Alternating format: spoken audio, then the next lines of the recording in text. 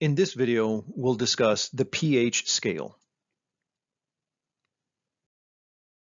The pH scale is commonly used to represent solution acidity.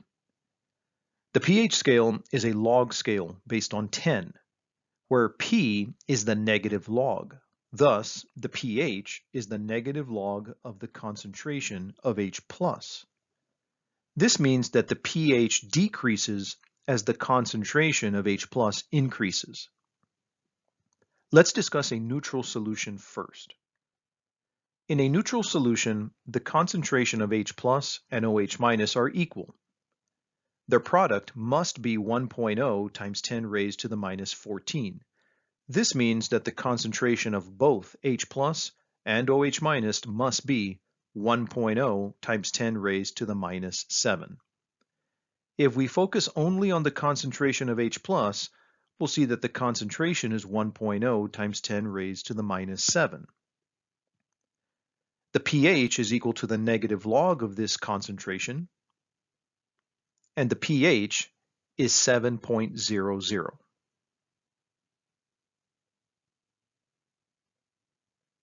This pH scale shows the concentration of H plus on the left and the corresponding pH on the right. Starting at the top, an ammonia solution, for example, has an H plus concentration of around 10 to the minus 12 or 1.0 times 10 raised to the minus 12. The negative log of 1.0 times 10 to the minus 12 gives us a pH of 12.00. Any pH above the neutral pH of 7.00 is called a basic solution. Examples of basic solutions are strong hydroxide solutions, ammonia, and baking soda.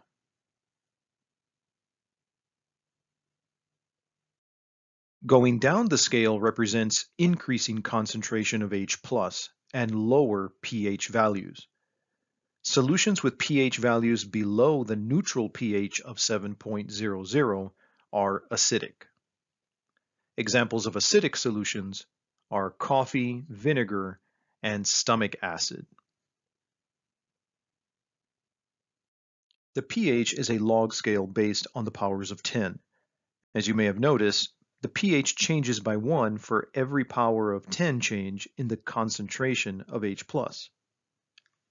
Log scales can also be applied to the concentrations of OH- to find the POH,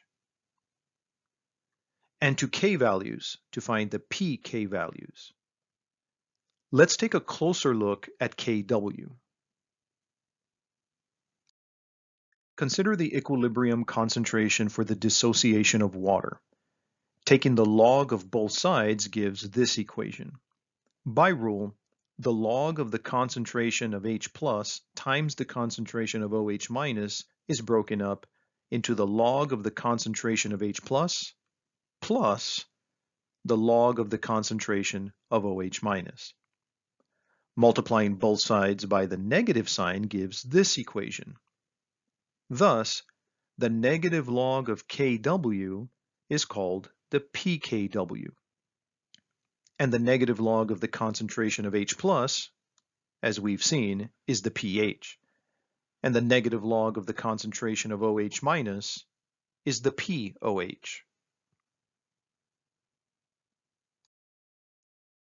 Since Kw is 1.0 times 10 to the minus 14, the pKw is the negative log of 1.0 times 10 to the minus 14. This equals 14.00. Thus, for any aqueous solution at 25 degrees Celsius, the pH plus the pOH must equal 14.00. pH meters are used to measure acidity. A pH meter is an electronic device with a probe that can be inserted into a solution of an unknown pH.